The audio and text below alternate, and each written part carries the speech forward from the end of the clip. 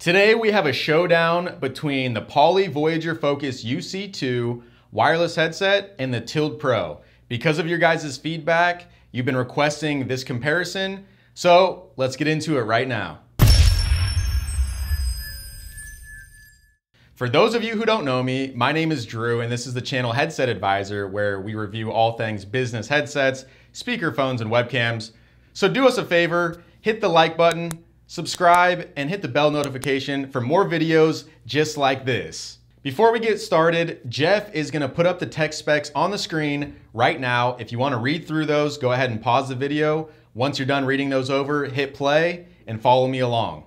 Before we get into the mic test and then the pros and cons of the Tilde Pro, I wanted to just give you a sneak peek into how the Focus UC2 sounds without any background noise and when it's connected as a wired headset. As you can see, there's a cord here connected from the headset going into a USB port and the USB adapter is not plugged in. So this is gonna charge your headset as you can use it. The audio you're hearing is on our um, camera microphone. Now the audio you're hearing is on the Voyager Focus UC2. If there was no noise going on, this is just a quick sneak peek until we do the full showdown between the Tilde Pro and the Focus UC2 microphone.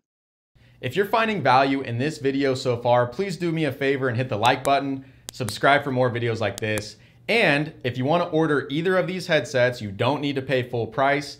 You can buy either one of these on the headsetadvisor.com website using coupon code YouTube for an additional discount. The Focus UC2 is anywhere from 329 to 349 MSRP. The Tilde Pro is anywhere from 329 to 399 depending on the model you choose. All right, so let's get back into it. Starting to my left, we have the Poly Voyager Focus UC2. This is gonna be one you're most familiar with out of these two headsets. So let's go through the pros and cons. First off, the Focus UC2 is by far one of the most comfortable headsets I've ever worn. I don't know what they did between this headband design and, and the cushions, but whatever they did, it works really well if you wanna wear a headset for many hours in a day. You can adjust the headset very far. As you can see, the speakers aren't even fully on my ears, or you can tighten it up to really fit great on your ears. You can wear the microphone on the right side, you can wear the microphone on the left side. And another feature that I really like that I didn't think I would use as much is the microphone uh, mute feature. There's two buttons you can use, or two ways that you can mute the microphone. One, you can move the microphone up. That's gonna mute your microphone when you move the microphone down, it would unmute your microphone. Or there is a red button on the microphone right here. I don't know if you can see it on the video, but if you press that button one time, it will mute your microphone, just like other headsets are used to. Press that same button and it will unmute the microphone. There's a number of customizations that you can do with this headset when you download the PolyHub software, and we're gonna show that to you in just a minute. As you see on the desk here, we have a charging stand that the headset was resting in. You can either get it with the charging stand or if you want to save some money, you can order this headset without the charging stand. If you order it without the charging stand and realize down the road you actually would like the charging stand, that's okay because you can order that separately. Also, another advantage to the Poly is it includes this USB adapter. If your computer does not have Bluetooth, you will be able to use this headset on the computer when you plug the USB adapter in. Not only is this good for connectivity, it's also good for certain features. For example, if you were to connect the Poly headset to say Microsoft Teams, Cisco Avaya, Zoom, RingCentral, and the list goes on, you will get the added ability to answer and end calls from the headset when you step away from the computer. So if you want to be in another room and not have to run back to your computer to answer a call, the Poly Voyager Focus UC2 with this USB adapter will allow that capability only with compatible soft phones. If you don't know if your soft phone is compatible, contact us here at Headset Advisor and we'll be more than glad to verify compatibility for you. You have active noise cancellation, you have either off, low, or high, so you can really customize the speakers to block out how much noise you want to block out or not block out. And you have a noise canceling microphone on the Focus UC2.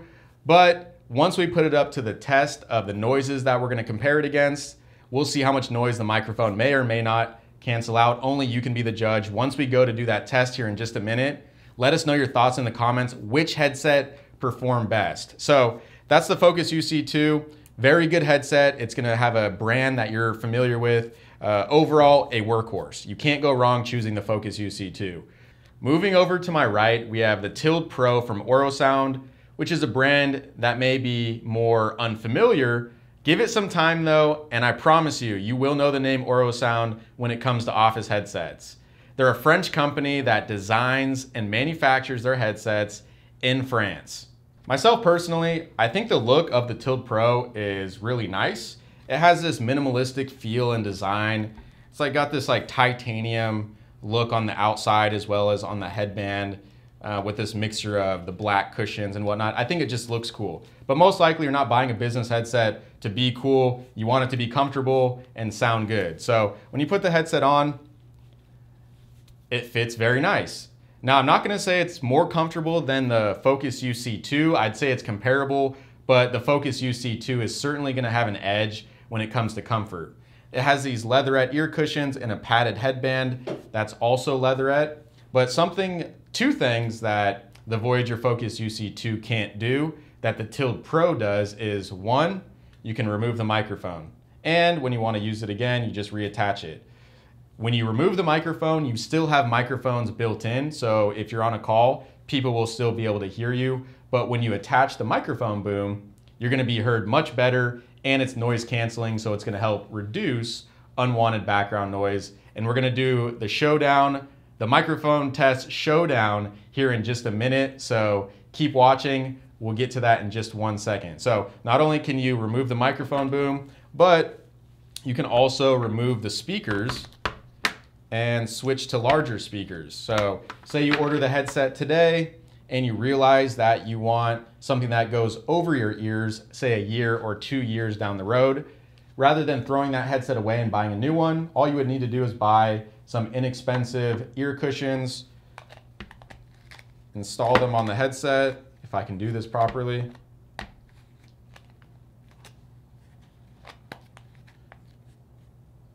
Third time's a charm.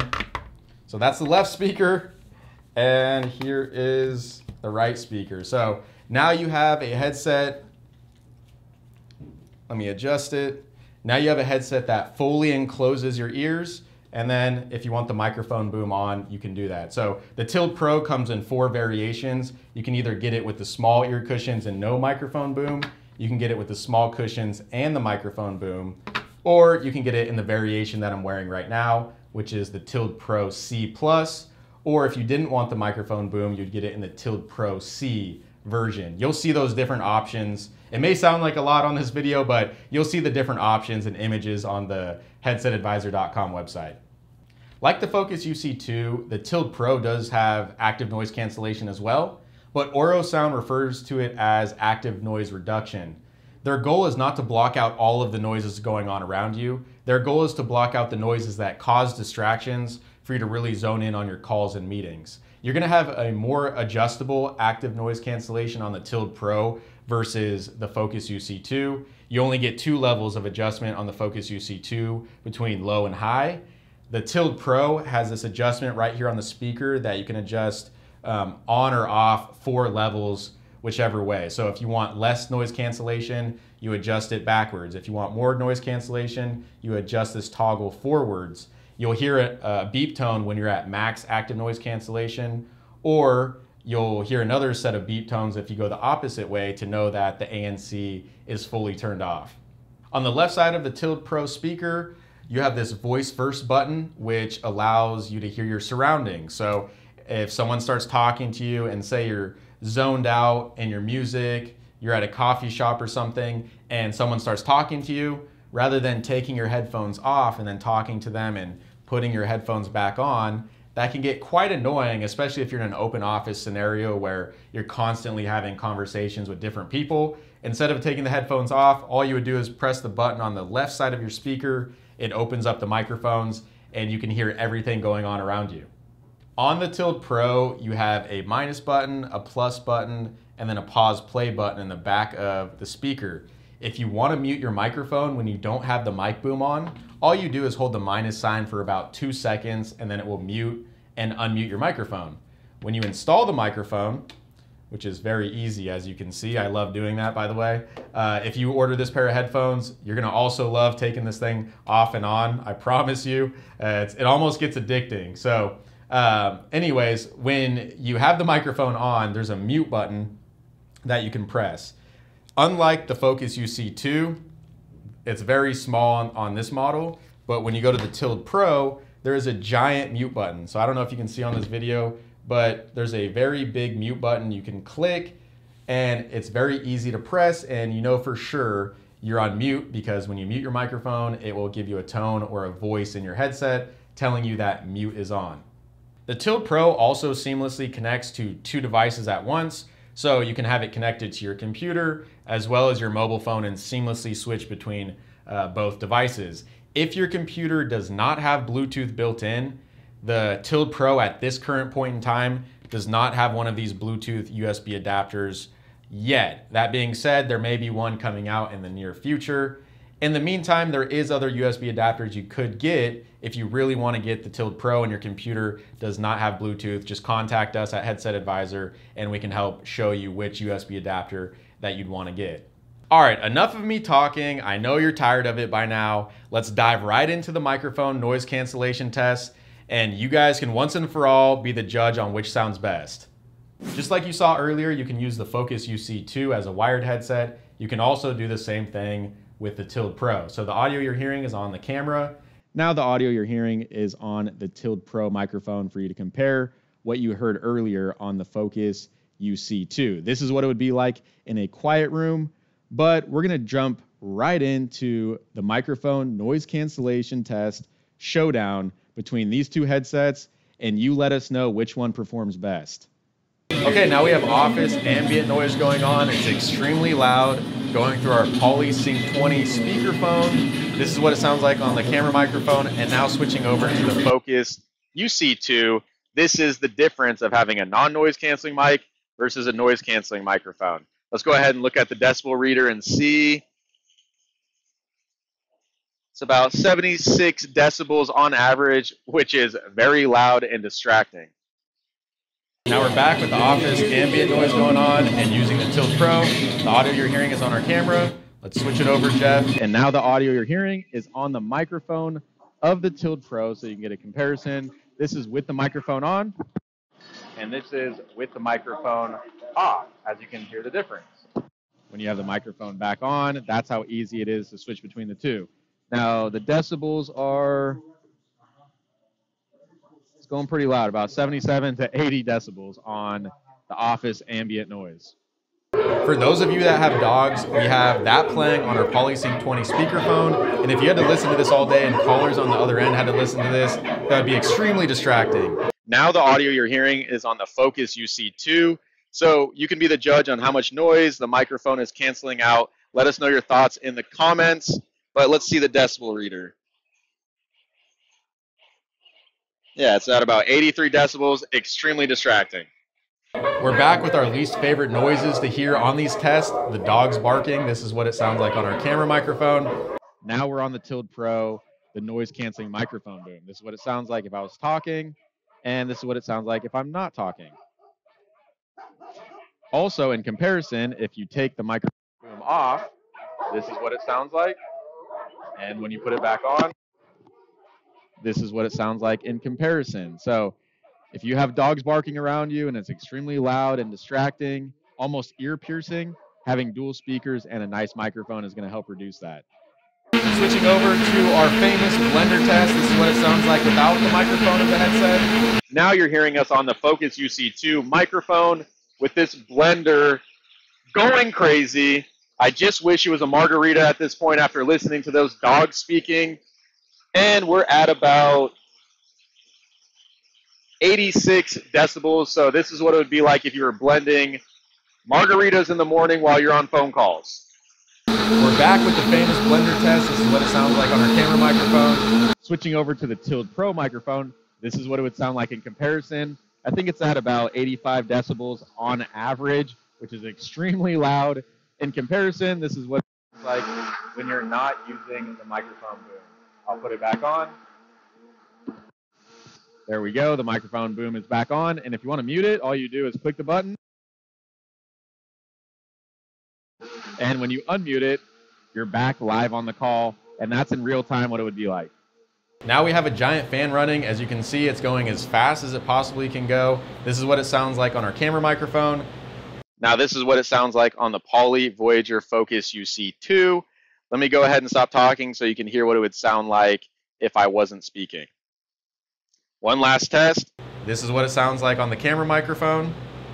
And this is what it sounds like on the Focus UC2 microphone. We're back at our last microphone test with the fan going strong on the Tilde Pro. You're hearing the audio through the camera microphone. Now let's switch over to the Tilde Pro. This is what it sounds like in comparison.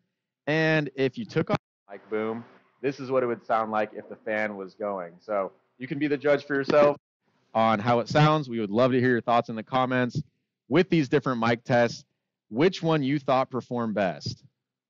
Before we end this video, I had to throw my glasses on so I can show you guys the software for Poly as well as Orosound. And I'd highly recommend, no matter which model you choose, download the app. That way you can keep your headset up to date and customize a number of features if you want to do so. So first off, we have the Plantronics Hub or the Poly Hub, being that Poly and Plantronics are now the same. So as you can see, the BT700 is plugged in.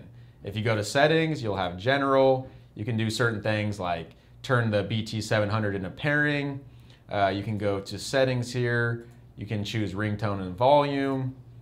You can go to your softphone applications and choose if you want the dial tone on or off.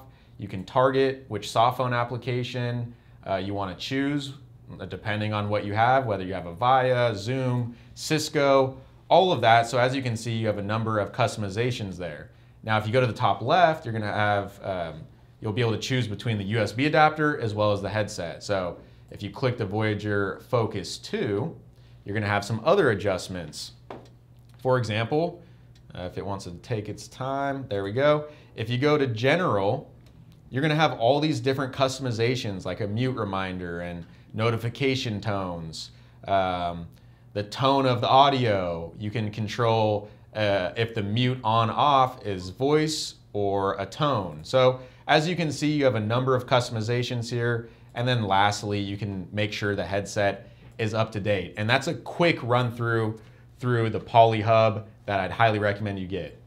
Switching over to the Tilde Pro, if you do decide to choose this headset, it's also recommended that you download the Orosound Link app. That way you have your headset updated and working great at all times. Plus you'll be able to go through some customizations that I'll quickly show you. As Orosound continues to grow, who knows what else you'll be able to customize within this app. So you'll see here, you have your device name, serial number, firmware, all of that good stuff. Um, and you'll also have your battery level meter, which could be helpful. Going over one screen, you're gonna have general, telephony advanced. You can read through each of these. You can hit the info icon if you wanna read more about it.